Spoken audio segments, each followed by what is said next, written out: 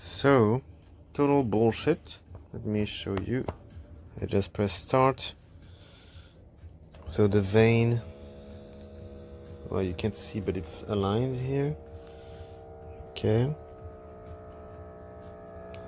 I'll try to show you. This is plugged correctly over there on the left.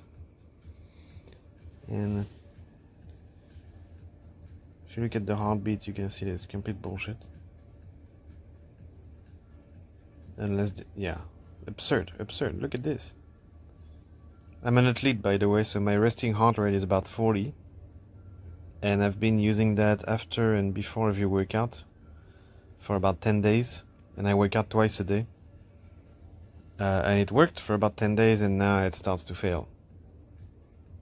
And so it's probably going to show some completely absurd measurement right now. Uh, let's wait. Okay, so 68 is not my... it's not my heart rate right now. I must be around probably 48.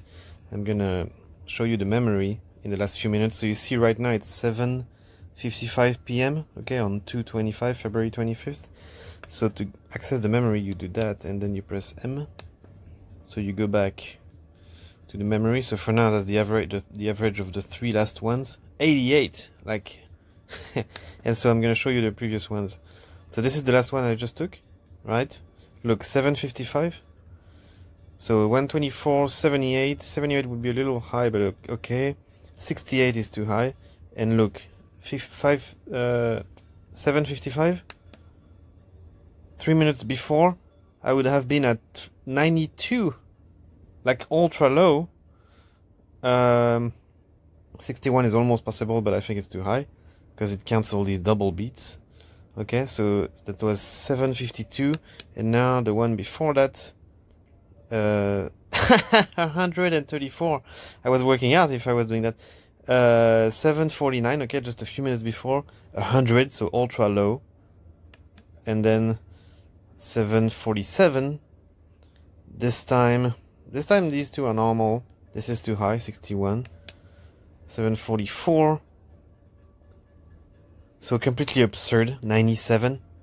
Like you're you're you're 744. Let's see 743.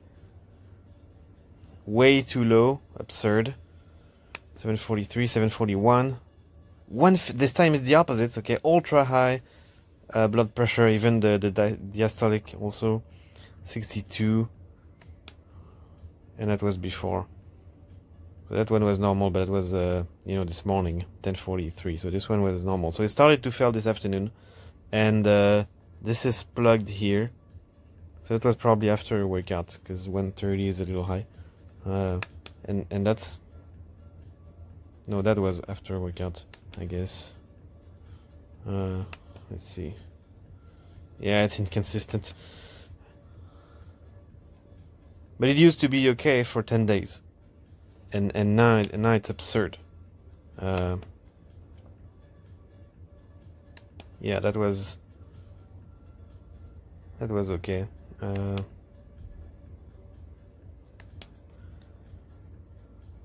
it was after a workout. Yeah, before before that, after a workout, that's normal. But uh, before that was normal uh, for ten days, and now it started to fail. So I just want to say. It's probably not very reliable or dur durable you know? Um, like you look at uh, so that is plugged correctly okay? Um, and that is aligned right? No problem. I did align the, the veins you know the and and I did strap it uh, just tight enough not crazy and it's aligned correctly. And so I checked the the tube. It's so this is the Konquest blood pressure machine a cuff the cuff is too big for me, but I make it work. However, when you go to pull it on, it gets caught on this lip of material. And it you really need to like, it's a pain when you're trying to use one arm to try to get it onto your left arm. It, so I'm gonna try to trim this with a razor blade. Um, it just needed to be cut off this material. Um, so I think when if I need to replace this in the future because I've already been using it, I'm not going to return it. Um, I think I'm going to look for something that has a smaller cuff or at least options on sizes. So just beware, it's not a bad product, but it is frustrating when you're trying to take your blood pressure because you feel like it's high and you're wrestling with the cuff and moving around so much that like your heart's beating even faster. So just beware of that. Other this is such a helpful at-home blood pressure reader. Um, as you can see, it is so easy to read and interpret all of the numbers, and it has this handy little chart up here with that's color-coded to let you know what zone your heart rate falls in. Um, the info packet is super helpful. It tells you how to set up, how to use, um, what form, kind of how you should be sitting, how to use and align um, the cuff, which is super flexible. It has this great sticking Velcro, um, but it's so easy to put on yourself one-handed, not an issue at all. Um, and it also comes in this handy travel pack, so you can easily kind of unclip. It's hard to do one-handed. Easily kind of undo, pack it all up neatly, and put it in this travel pack.